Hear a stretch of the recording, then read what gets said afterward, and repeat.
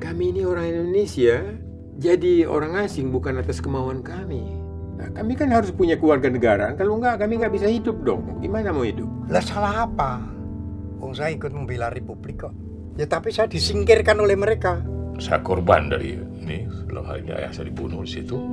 Sebagai korban mestinya punya hak yang tidak ada sekat-sekat kewarganegaraan, punya hak untuk mengetahui.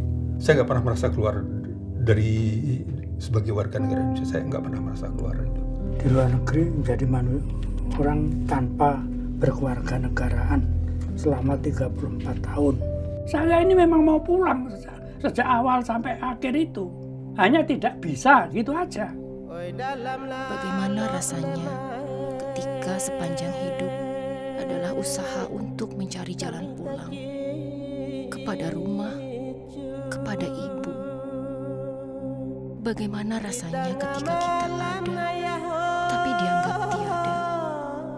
Orang menduga bahwa kami hidup di luar negeri ini senang apa pikiran kami tetap ke tanah air.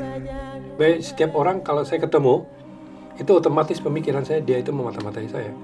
Walaupun saya secara logis tahu bahwa itu tidak benar, tapi secara di bawah kesadaran, orang tua saya meninggal, ayah ibu meninggal itu saya nggak tahu, nggak sampai melihat, nggak sampai eh, ikut mengubur. Wah itu bagi saya itu perasaan yang sangat nggak bisa dikatakan itu. Tadi saya, saya tidak dendam, tapi carilah sumbernya siapa yang membuat itu.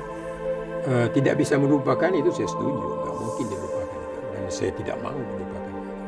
Bisa memaafkan, oh nanti dulu. Bagaimana kita memaafkan orang yang selalu ingin memusuhi kita?